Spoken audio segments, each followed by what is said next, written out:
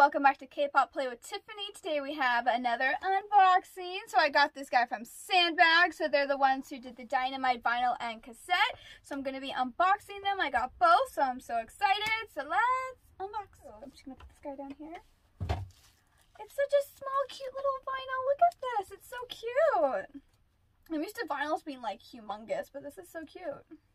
So this is what the packaging looks like. So it's Dynamite. On the back it says BTS Dynamite 3 minutes and 19 seconds. Big Hit Entertainment. Hitman Bang. It says Hitman Bang on it. The Orchard. Yeah, just basically everything like all this important information on the back. So let's look at the little vinyl. We do have a vinyl player here at my house, so maybe we can play it on there. Ooh, okay, I'm touching it very carefully. Carefully. Look at that is really cute. Vinyl was never my era, it was my parents' era, so this is really cute. I'm just going to put this back in here to keep it safe. But ooh, this is so pretty. I can't wait to play it. So yeah, it's the vinyl. The cassette they put in bubble, which is cute. So here's the cassette. So it says Dynamite on here. It says all the same information like Orchard, Hitman Bang, BTS. So let's get the packaging off.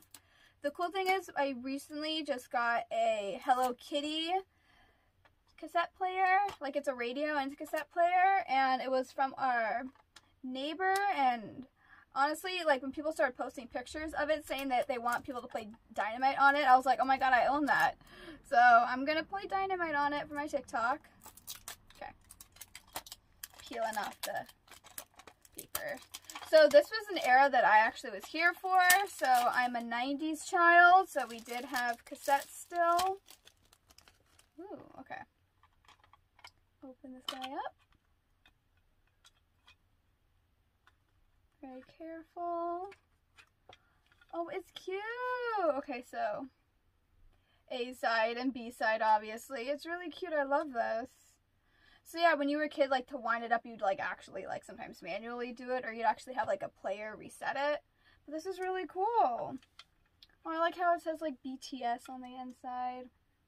I love this. This takes me back. I'm so happy they did this like retro look for them. So yeah, just wanted to show these two guys. They're really cute. Like I got this like for the first like pre-order sale before they sold out. So I was so happy that I was up at like 8 in the morning to get them. So yeah, so happy to have this. Thank you guys for watching this video.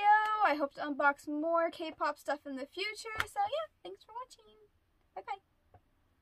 Dynamite. Woo!